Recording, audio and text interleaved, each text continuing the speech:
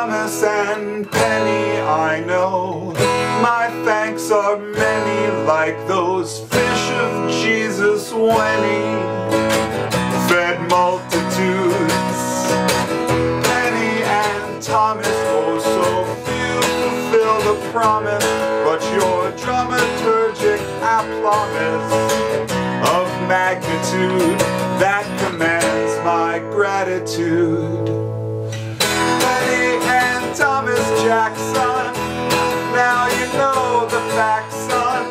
One of the premier double axon to the sun. Thomas and Penny, thank you so much for supporting the Acolyte Kickstarter campaign.